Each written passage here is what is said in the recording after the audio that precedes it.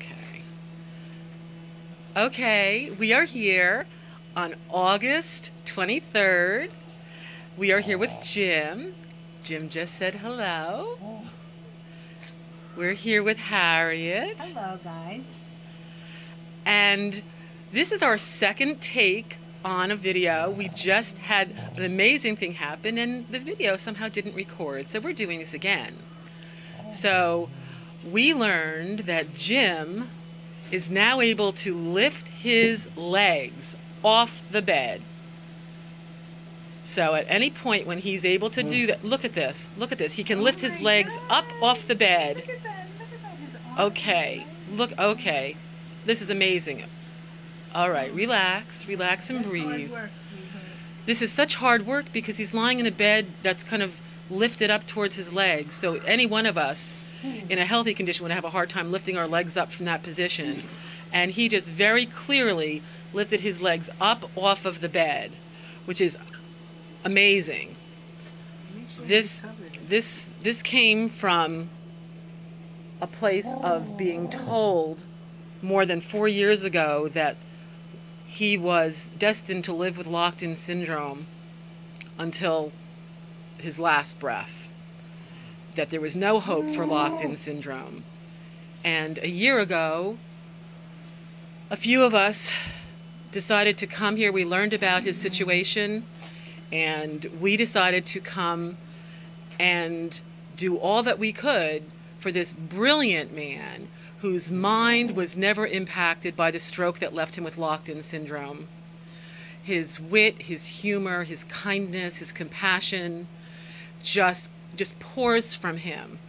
And with locked in syndrome, the only thing he was able to move was his eyes. And that was a year ago when we came in and saw him like that. In this past year, because of his amazing strength and courage and love and all the prayers and love and support he's getting from what started out to be a small team, we call it the A team for his advocacy team. A small team of four of us is now growing in leaps and bounds as his story is beginning to be told and shared with others. Jim is determined to recover fully from locked in syndrome. There are others who have been courageous enough to do this as well. They may be far and few between, but we're hoping by sharing this video and sharing this information that others who find themselves with this situation will know that there is hope, regardless of what anyone else tells them. There's always hope. Our bodies have an amazing ability to heal. And between the power of love and the power of prayer and people's spirit and commitment to reaching out and giving others a hand oh. up, we expect to see miracles continue for Jim. He's now able to speak some words. Oh. Say frog. Oh.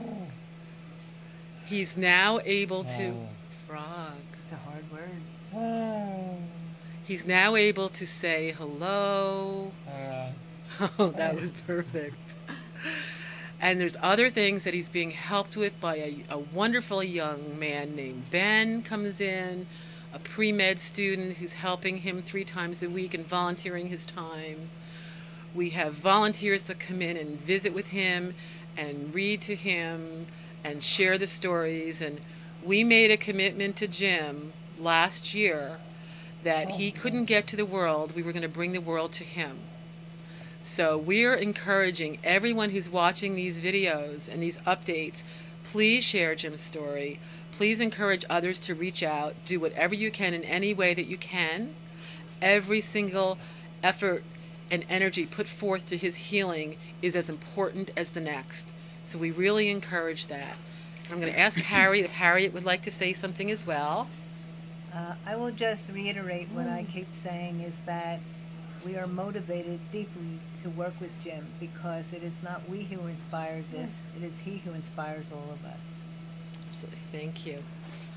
Okay. I'm going to say We thank just- you before we we just- sign off. Or just say goodbye. Say goodbye. Uh, bye. We love you. Oh.